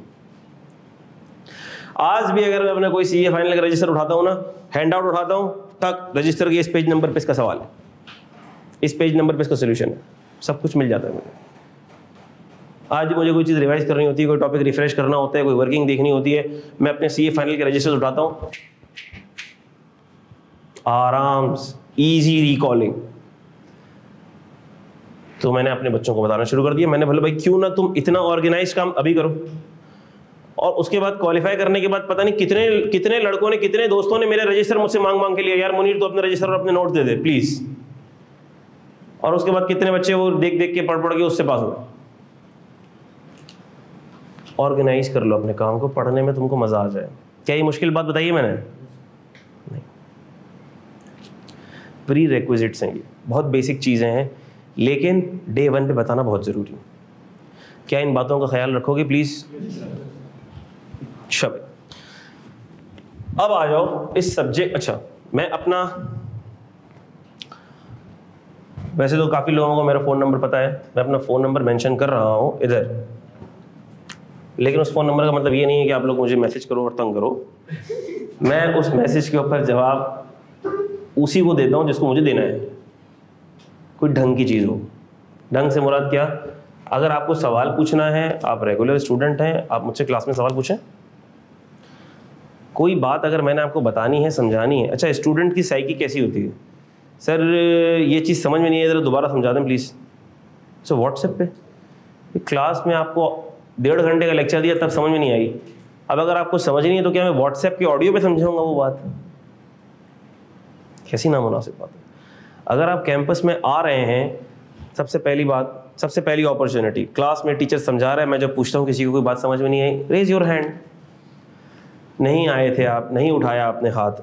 ब्रेक क्लास का अगर मैं दे रहा हूँ ब्रेक में आप मुझसे आके पूछें. क्लास ख़त्म हो गई है. क्लास ख़त्म होने के बाद मैं कैंपस में अवेलेबल हूँ. जब तक जिसको जो सवाल पूछना है, मैं फैकल्टी रूम में अवेलेबल हूँ. आप ज़रूर पूछो. और मुझसे फेस टू फेस पूछो. मुझे ये पता होगा कि आपको इस टॉपिक में मसला है, मैं आपको कोई और एग्ज़ाम्पल दे के किसी और तरीके से देसी एग्ज़ाम्पल दे के समझा दूँगा मैं। अल्लाह के फजल से। समझा दूँगा मैं इनशाला आप पूछने वाले बनो। समझ आएगा, ये गारंटी है इनशाला अल्लाह की ज़ात से उम्मीद है कोई बात ऐसी नहीं होगी आपको जो समझ में ना आए। इनशाला रेस्ट अश्योर्ड टैक्स के अंदर हर बात आपको समझ आएगी इनशाला नहीं आएगी, आप मेरे पास आ जाओ। दोस्त से पूछ रहे हैं, इससे पूछ रहे हैं, उससे पूछ रहे हैं। अरे भाई, उसको बेचारे को खुद आदत होती थी तरह आदत बटेर समझ में आया। तुझे क्या समझाया मुझसे पूछना भाई। फ़ीस पूरी दी ना भाई? तो इस्तेमाल करो फ़ीस को। टीचर से पूछो। मैं कह रहा हूँ मुझसे पूछो आप यार। आपको किसी से क्यों पूछना है? क्लास मिस हो गई है। अगली क्लास में आना है। फिर भाई यार, लेक्चर देख के आओ। फिर रिकॉर्डिंग देख के आओ। नहीं सर रिकॉर्डिंग तो नहीं लगी। सही बात है। नहीं लगी, क्योंकि ज़ाहिर सी बात है, एक टाइम होता है वीडियो रेंडर होने का एक टाइम होता है, लोगों के भी यहाँ पे वर्किंग आवर्स हैं, सारे लोग हमारे लिए तो नहीं बैठे हुए ना। देखो सीधी सी बात है ना बी प्रैक्टिकल बी प्रैक्टिकल आज अगर शाम में हमारी क्लासें ख़त्म हो रही हैं मिसाल के तौर पर तो आईटी वाला बंदा उसको एडिट करके पोर्टल पर लगाएगा, उसको कन्वर्ट करेगा छः सात, आठ जी की वीडियो होगी, उसको वो रेंडर करेगा कंसाइज करेगा, लोगो शोगल सिक्योरिटी लगाएगा कोडिंग सौ चीज़ें होती हैं। अगले दिन आपने छुट्टी करी है, अब आपको वो लेक्चर देखना है। तो भैया, ये तो कसूर आपका हुआ ना। अब अगर दो दिन बाद लग रहा है तो ठीक है, फिर दो दिन के लेक्चर ऑनलाइन जाएँगे। या वही टॉपिक अब पिछले अटेम्प्ट का लैब में बैठो, पिछले अटेम्प्ट का वही टॉपिक का लेक्चर देख के आप आओ फिर। इतना इतना सेंस तो आप में भी होना चाहिए ना। आप एक क्लास मिस करके अगली क्लास में आ जाओगे, आपको समझ थोड़ी आएगा। Are you getting this is this clear to everyone अच्छा मैं अपना नंबर लिख रहा हूँ। हमारा सबसे पहले तो क्लास का एक व्हाट्सएप ग्रुप बन जाएगा। जेनरिक ग्रुप होगा, उसके बाद वो फिर बच्चे फाइनल ग्रुप में शिफ्ट हो जाते हैं। अगर कोई बच्चा व्हाट्सएप ग्रुप में एडिड ना हो तो मुझे इतना मैसेज करेगा sir please add me to the WhatsApp group सलाम करके, सलाम करना है, बिल्कुल करें। सलाम का जवाब मिलेगा आपको। Sir please add me to the WhatsApp group और मैं आपको व्हाट्सएप ग्रुप में ऐड कर दूँगा। आगे पीछे की कहानियाँ ऑडियो शॉडियो मुझे प्लीज़ मत भेजना। इतने लोग भेजते हैं, फिर वो ओवरलोड हो जाती है मैसेजेस ठीक हो गई बात? ऑनलाइन वाले बच्चों को कोई क्यूरी होगी, कोई सवाल होगा, मैं उनको खुद अलाउ करूँगा। कैसे अलाउ करूँगा मैं मोडालिटी आपको खुद बताऊँगा, कोई टेंशन नहीं लेनी। ठीक है? तो ये मेरा नंबर आप लोग नोट कर सकते हैं।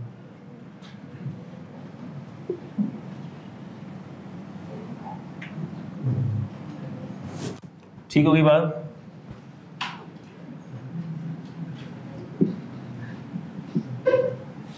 अच्छा भाई। क्लासेस मैंने आपको बता देंगे मंडे से फ्राइडे डेली क्लासेस होंगी, आपका शेड्यूल फिक्स होगा इन ताला। शेड्यूल पता लग जाएगा। रिक्वेस्ट मेरी ये है, क्योंकि मैं आपको वो सजेस्ट करूँगा जो मैं अपने लिए अच्छा समझता हूँ, वो मैं आपको सजेस्ट करूँगा। रिक्वेस्ट मेरी ये है कि ज़रूर भी ज़रूर क्लास में आकर फ़िज़िकल क्लासेस लो। बाकी आप बेहतर समझते हो। कुछ बच्चे ठोकर खा के समझते हैं। मेहनती होते हैं सीरियस होते हैं पास हो जाते हैं ऑनलाइन पढ़ के। नहीं होते, घर पे टाइम वेस्ट करते हैं डिस्ट्रैक्शंस होती हैं फेल होकर फिर समझ आती है बात। आप लोग सीनियर बच्चे हो स्कूल के बच्चे हो नहीं। गाइडलाइन देना मेरा काम है सजेशन देना मेरा काम है। मैं आपकी जगह हो तो मैं क्या करता, बस मैं वो बता रहा हूँ। मैं अगर आ सकता हूँ तो मैं कैंपस आके क्लास लूँगा। कुछ जेनवन केसेस होते हैं। कुछ फीमेल स्टूडेंट्स होती हैं, वो पता नहीं कितनी दूर से आ रही होती हैं स्टील टाउन से। एक डेढ़ घंटा बस में आने का, एक डेढ़ घंटा बस में जाने का, ठीक है take online classes in that cases it's okay genuine इतनी ख्वारी नहीं करो। आउट स्टेशन कराची से बाहर के बच्चे हैं, वो देखिए ऑनलाइन सकते हैं तो ठीक है, देखना है आपको तो बस ऑनलाइन देख लो फिर कोई मसला नहीं है। ऑनलाइन में भी बच्चों के मेरिट्स आते हैं मेडल्स आते हैं भाई, लेकिन वो फिर सीरियस होने चाहिए, जो कि हमारे बच्चे कम होते हैं काफ़ी। ठीक है, कोई बात फ़िज़िकल आने का मैं आपको क्यों कह रहा हूँ? क्योंकि कितने सवाल ऐसे होंगे जो मैं आपसे क्लास में खुद सॉल्व करवाऊँगा। और मैं इस तरह से चल के एक एक बच्चे का सवाल देखता हूँ कि वो कर क्या रहा है अपने रजिस्टर के ऊपर। और जो गलती वो कर रहा है, जिधर वो अटक रहा है, उसी वक्त उसको गाइड करना। क्या मसला आ रहा है? पता लगाना। अब मुझे ये बता दो, क्या ऑनलाइन वाले बच्चे को ये फैसिलिटी मिल पाएगी? ये फैसिलिटी जितनी भी फैसिलिटियाँ जितने भी बहस मोबाइल से कर ले, सर, हम तो ऑनलाइन में चैंपियन हम तो ये, हम तो वो। मैं बोलूँगा, भैया, ये फैसिलिटी मैं सिर्फ़ उनको दे सकता हूँ, जो क्लास के अंदर मौजूद हैं। और आप यकीन करें, ये मेरे कहने की बात नहीं है, आप पिछले अटैम्प्ट के बच्चों से पूछ लीजिएगा कि इस तरह से उन्होंने कितने सवाल कर करके मुझे दिखाए हैं और मैंने ऐसे कितने सवाल के ऊपर उनको फीडबैक दिए। और ये आप सोच सकते हो कि एक प्रोफेशनल पेपर में टीचर के फीडबैक की क्या वैल्यू है। The level of guidance which you will get in the physical classes, it cannot be substituted through online classes. मेरे हिसाब से। कुछ बच्चे होते हैं, वो बहुत पढ़ाकू बच्चे होते हैं, बहुत सीरियस बच्चे होते हैं, उनको तो ये लेक्चर बाजी देने की भी ज़रूरत नहीं है। वो गिने चुने होते हैं। वो फाइव परसेंट होते हैं। सौ में से पाँच होंगे। जो ऐसे होंगे, जिनकी कभी कोई क्यूरी नहीं आएगी, ज़िंदगी में। ऑनलाइन वाले बच्चे कभी कभार ऐसे कैंपस में टकरा जाएँगे। कुछ लेने के लिए आए, कोई बुक लेने के लिए आए। सर वो आपसे बस हम चाह रहे थे सलाम दुआ कर लें। अच्छा बेटा, क्यों? कहाँ के? कैसे? क्या? सर आपके स्टूडेंट हैं हम। बेटा, कभी देखा नहीं आपको मैंने। सर वो हम ऑनलाइन के स्टूडेंट हैं। तो कभी मैसेज वगैरह, कोई क्यूरी सब समझ आ रहा है? सर ए वन सब कुछ, कोई चीज़, कुछ नहीं पूछना हमने। सब कुछ समझ आ रहा है। ऐसे ही बच्चे होते हैं। और वो वाकई में बड़े शार्प बच्चे होते हैं। हल्ला पाक ने हर किसी को सेम तो नहीं दिया ना? कुछ को बहुत, कुछ बहुत एक्स्ट्रा बच्चे होते हैं। वो बोलते हैं, सर ओ हो हो सर, बस लेक्चर देख के जो समझ आता है हमको हमको तो आने की ज़रूरत ही नहीं है। छोड़ दें आप बस। पेपर पास है हमारा। मैंने कहा, अच्छी बात है भाई। आप अपना बेहतर भला जानते हैं। लेकिन मैं ज़्यादातर बच्चों की बात कर रहा हूँ, मैं 95 परसेंट बच्चों की बात कर रहा हूँ। They need attention they need guidance और आपको जो टीचर इतनी बड़ी फैसिलिटी दे रहा है कि, यार मेरे सामने सवाल करो, मैं आपको गाइड करूँगा ना यार मैं बोर्ड पर पाँच सवाल करूँगा, दस साहब से कराऊँगा। अपने सामने कराऊँगा। जो गलती होगी वो बताऊँगा मैं। क्या ये बात समझ आ रही? है try to attend classes physically on campus कोई मसला हो गया, नहीं आ पा रहे, ठीक है, आपने लाइव ऑनलाइन घर से ले ली। अगले दिन आपने फिर कैंपस आ गए। लेकिन इसको रूटीन ना बनाओ। अपने आप को आसान पसंदी का आदि ना बनाओ। तुमने एक दफ़ा अपने आप को सहल पसंदी का आदि बना लिया, आदत डाल ली। देखो, ज़िंदगी में ये कन्वीनियंसिस नहीं है। ये तो हम लोगों ने इंस्टीट्यूट्स ने दे दिए ना। इंस्टीट्यूट्स ने दे दिए और वो भी कोरोना का फ़ेज़ आया। कोरोना के फ़ेज़ के बाद अब सब दे रहे हैं तो फिर एक कंपटीशन की फिजा चल पड़ी कि भाई हमें भी देना है। सर वो तो वो वो इंस्टीट्यूट वाले तो दे रहे हैं। सर आप भी कर दें फैसिलिटेट हमने कहा, चलो भाई, ठीक है, हम भी कर देंगे फैसिलिटेट लेकिन आप ये देख लो कि आप अपने आप को इतनी आसानी का आदि ना बनाओ। कल को आपने जॉब्स पे जाना है, वो ऑनलाइन नहीं होती, आपको फ़िज़िकल जाना है। सर पेट्रोल बहुत महँगा हो गया, बहुत महँगा हो गया पेट्रोल सर, इतना महँगा हो गया, सोच है आपकी। आज तक तुमने देखा किसी को स्कूल का बच्चा घर पे बैठ के स्कूल पढ़ रहा हो? पेट्रोल बहुत महँगा हो गया। देखा किसी को? नहीं देखा ना? जा रहा है स्कूल डेली जा रहा है, बच्चा जा रहा है डेली वैन की फ़ीस बढ़ भी गई, जा रहा है डेली जा रहा है। नहीं भी जा रहा होगा ना माँ बाप मार के निकालेंगे भाई जा भाई, स्कूल जा। आजकल की माएँ भी खतरनाक है। स्कूल जाओ भाई, सुकून मिले थोड़ा। कॉलेज ए लेवल्स कैसे किया तुम लोगों ने? ऑनलाइन किया? नहीं, जाके किया। पेट्रोल तो तब भी ज़्यादा था। देखो, पेट्रोल अब भी ज़्यादा है but the utility which you will get is immense is immense इनशाला कौन कहता है तुम रोज़ बाइक क्या कराओ भाई? कौन कहता है तुम रोज़ करीम पर आओ रेड बस चल रही है ग्रीन बस चल रही है मिनी बस चल रही है। भाई बस में आओ। कौन मना कर रहा तुमको? कौन कह रहा तुम रोज़ का हज़ार रुपये किराया खर्च करो? अपने अम्मा अब्बा का पैसों का जनाजा निकालो। नहीं भाई। मसला है? फाइनेंशियल प्रॉब्लम है बस में। मैं के बस में जाता था भाई। मैं आई चंडीगढ़ रोड बस में जाता था। मेरे पास कोई इस तरह की कन्वेंस नहीं थी। अम्मा, अब्बा बाइक चलाने नहीं देते थे, गाड़ी थी नहीं। बस जाती थी I Chundrigar road I Chundrigar road पे भी बोल्टन पे उतारती थी। बोल्टन से चल चल के आई चंडीगढ़ रोड पे जाना पड़ता था दस पंद्रह मिनट की वॉक सो वॉट माशाल्लाह, जवान लोग हो यार। कोई बूढ़े हो, कमज़ोर हो, छोटे हो जाओगे, बस में जाओगे तो हैं? अरे वो दोस्त क्या बोलेगा, बस में आ रहा है। वो बोलता रहेगा, तू सी ए क्वालिफाई कर लेगा, बस में आके वो बोलता रह जाएगा भाई। अभी आप देखो, आपकी भलाई किसमें आपको खुद पता लग जाएगा। आप एक दिन ऑनलाइन क्लास लेके देख लेना घर पे, और आप फ़िज़िकल क्लासेस लेके देख लो। आपको खुद पता लग जाएगा कि आप किसमें गेन कर रहे हो और किसमें गेन नहीं कर रहे हो, ज़्यादा। ये मेरा मशवरा है। बाकी जो ऑनलाइन में आके पैसे देगा फ़ीस हमको वहाँ से भी मिल जाएगी। फ़िज़िकल आगे बढ़ोगे फ़ीस हमको यहाँ से भी मिल जाएगी इंस्टीट्यूट को। लेकिन मैं, आप लोग मेरे बहन भाइयों की तरह हैं। You are just like my family कोई स्टूडेंट अपनी परेशानी बताता है ना, मुझे लगता है मेरी परेशानी है। कोई स्टूडेंट फेल होता है ना, मुझे ऐसा लगता है यार ये इसका कितना बड़ा लॉस हो गया, मेरा लॉस हो गया ऐसा लगता है मुझे। मैं मैं परेशान चलता हूँ। तो मेरे बच्चों I want to see all of you all of you clearing this paper with ease इनशाला और अगर आपका कमिटमेंट है ना तो मेरा भी कमिटमेंट है इनशाला मेरा भी कमिटमेंट है इनशाला इस सब्जेक्ट को अल्लाह के फजल से, बाकी सब सब्जेक्ट के मुकाबले में आसान तरीन बना दूँगा मैं इनशाला आसान नहीं, आसान तरीन.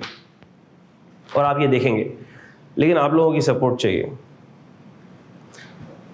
देखो हुक्मरान बुरे होते हैं ना? किस वजह से बुरे होते हैं? आवाम की वजह से। आवाम के अमाल अच्छे नहीं है, अल्लाह पाक हुक्मरान अच्छे नहीं भेजेंगे। जमात से नमाज़ पढ़ोगे ना, इमाम साहब से गलती हो गई। क्यों होती गलती, पता है? जी, जो लोग पीछे खड़े होते हैं ना, वो कुछ और ख्यालों में होते हैं।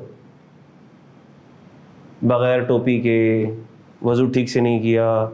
हदीस में आता है जिसका मफहम है, हुजूर सल्लल्लाहु अलैहि वसल्लम नमाज़ पढ़ा रहे थे और किरत में कुछ उनसे भूल हो गई। किरत में उनसे कुछ भूल हो गई। अल्लाह पाक कमी पेशी माफ़ फरमाए। तो नमाज़ बाद उन्होंने कहा कि ऐसे कितने लोग होते हैं जो वज़ू ठीक से नहीं करते। तो वज़ू कौन ठीक से नहीं कर रहे हैं? जो पीछे खड़े हुए मुक्तदी हैं। लेकिन असर किस पे पड़ गया? नमाज़ पढ़ाने वाले पे। बात समझ आई? तो ये आप लोगों की डिटर्मिनेशन हार्ड वर्क आप लोगों की सीरियसनेस आप लोगों की एफर्ट डिटरमिन करेगी कि मैं कितना अच्छा पढ़ा सकता हूँ। आर यू गेटिंग दिस गुड़ आप लोग डालेंगे, मीठा हो जाएगा। इनशाला और आज हम में से हर एक ये अहद करेगा कि सर, हमारे माँ बाप हम पर बड़ा इन्वेस्ट कर रहे हैं। इस कदर महँगाई के आलम में हम पर वो इतने पैसे लगा रहे हैं, हम इनशाला पास होकर दिखाएँगे। तो कितने बच्चे हैं जो पास होकर दिखाएँगे? इनशाला सर हम एक और वादा भी कर लो। वादा इसलिए करा लेता हूँ ताकि जो बच्चा फिर पूरा ना करे, उसको बुरा मिले। सर जो आप कहेंगे, जैसे आप कहेंगे, जो आप होमवर्क देंगे, हम वैसे चलेंगे और हर चीज़ वैसे वैसे टाइम पे करेंगे इनशाला हाथ रेस कर लो जल्दी से, शाबाश। अब जो ही नहीं करेगा ना, देखो वो गुनाहगार हो गया, बता रहा हूँ होमवर्क दिया, टोपी कराई। मुझसे किया हुआ वादा बड़ा खतरनाक होता है। बात समझ आ रही है? इन ताला, अभी तो आज छोटा सा सेशन था। अगली क्लास होगी आप लोगों की। कल हम इन ताला अपने टॉपिक्स टेक्निकल डिस्कशन का आगाज़ कर देंगे। आज ये बातें बताना बड़ी ज़रूरी थी। प्री रिक्विजिट्स थी। हैं छोटी सिंपल बातें, लेकिन सब्जेक्ट की इम्पोर्टेंस डेकोरम ये छोटी छोटी बातें हैं। रजिस्टर से रिलेटेड बुक से रिलेटेड स्टडी मटेरियल और स्टडी मटेरियल जितना क्लास में कर रहे हो ना, अगर उसी को घर जाकर एक दफ़ा कर लो, आसानी के साथ तुम्हारा पेपर पास हो गया। टेंशन नहीं लेनी। टेंशन नहीं लेनी। आप लोगों के हिस्से की टेंशन मैं ले लेता हूँ। तो आप लोगों को नहीं लेनी इन ताला। ठीक हो गई ये बात? अल्लाह के हुक्म से इन बहुत आसानी के साथ चीज़ें चलेंगी और बहुत एफर्टलेसली या विथ मिनिमम एफर्ट आप लोगों की अच्छी से अच्छी प्रिपरेशन हो जाएगी। एक चीज़ जो आप लोगों के ज़िम्मे है, कोई चीज़ समझ में नहीं आती, कोई प्रॉब्लम है, कोई मसला है, कोई परेशानी है, मुझसे डिस्कस करो। आगे पीछे उल्टे सीधे लोगों से डिस्कस करने की कोई ज़रूरत नहीं एक बच्चा पूछ रहे सर लास्ट अटेम्प्ट का पेपर कैसा था? वॉज़ इट टफ एक बात बता दूँ, आज बता दूँ, हमेशा बोलता रहूँगा मैं ये। कैफ टू का पेपर आज तक कभी टफ आया ही नहीं। कभी नहीं आया। कभी नहीं आया। तुम जिस बच्चे से पूछोगे ना टफ आया अच्छा हुआ, बुरा हुआ? या टफ कैसा था? टफ था इजी था। जिसका अच्छा हुआ होगा, वो बोलेगा इजी था। जिसका बुरा होगा, वो बोलेगा टफ था। ये उसूल है। ये उसूल है। इजी था या टफ था? ये आप लोग डिसाइड करोगे। जब आप लोग वो टॉपिक पढ़ के उसका सवाल कर रहे होगे। मैं आप लोगों से ही सवाल कराऊँगा और मैं आपसे पूछूँगा, आप बता दें कि इजी था या टफ था? आई कैप की स्टडी टेक्स्ट लेनी फिजिकली परचेज ना भी करना चाहो तो ऑनलाइन ज़रूर डाउनलोड कर लेना, क्योंकि मेरी बुक के अंदर काफ़ी सारे सवाल आई कैप की स्टडी टेक्स्ट के हैं, जो कि रेफर हुए हुए होंगे वहाँ से। तो वो सॉल्व करने होंगे हमें, ठीक है? तो अब आई कैप की study text physical book form में लेनी है, नहीं लेनी आपका डिसीज़न है। ऑनलाइन तो डाउनलोड करनी पड़ेगी भाई। क्योंकि आई कैप की स्टडी टेक्स्ट में काफ़ी सारे क्वेश्चन और एग्ज़ाम्पल ऐसी हैं जो एग्ज़ाम में डायरेक्ट पूछे गए हैं। So we can not ignore that ठीक हो गई बात? तो मेरी बुक के अंदर वो क्वेश्चन इंक्लूडेड है और वो मैंने पेज नंबर के रेफरेंसेस दिए हुए होंगे कि आई की स्टडी टेक्स्ट में इस पेज पर ये सवाल है। इसका सोल्यूशन देख लेना। या कर लेना, या मैं करवाऊँगा, जो भी है, वो ज़रूरत पड़ती है। तो my book will be the primary book उसी के अंदर मैंने क्वेश्चंस डाल दिए हैं। हाँ लेकिन मैं कभी ये कहता हूँ कि ये सवाल आपने घर से अटेम्प्ट करना है और इसका सोल्यूशन आपने स्टैटिक्स में से देख लेना इस तरह से होता है। तो मैं ये नहीं कह सकता कि इसको रूल आउट करना है। आई कैप की स्टडी टेक्स को हम रूल आउट नहीं करते। इसलिए नहीं करते क्योंकि आई कैप अपनी स्टडी टेक्स में से कुछ क्वेश्चन एज इट इज़ उठा के एज इट इज़ उठा के पेपर में दे देता है। तो मैं तो रूल आउट नहीं कर सकता भाई। कोई करता हो तो करे। ठीक है बच्चों? Thank you so very much may Allah bless you all take care a lot अल्लाह पाक आप सबको कामयाब करे। अल्लाह पाक आप लोगों को खुश रखे, बहुत ज़्यादा मेहनत की तौफीक दे। और आपके लिए ना सिर्फ़ ये कैफ के ये तीन पेपर, आगे के भी सारे पेपर अल्लाह पाक बहुत आसान कर दे। इन ताला कल मुलाकात होती है। और आना है सबने, इंशाल्लाह। टोपियाँ नहीं, छुट्टियाँ नहीं मारनी है। छुट्टियाँ नहीं मारनी है, ठीक है? थैंक यू अल्लाह हाफिज। और टाइम पे आना है। मैं टाइम पे क्लास स्टार्ट करूँगा। प्लीज़ आप लोगों की मोहब्बत में दस बजे क्लास रखी है मैंने। वरना पिछले अटेम्प्ट में पूछ लेंगे मैं कितने बजे क्लास रखता था। ठीक है? तो लेट नहीं होना। प्लीज़ थैंक यू अल्लाह हाफिज।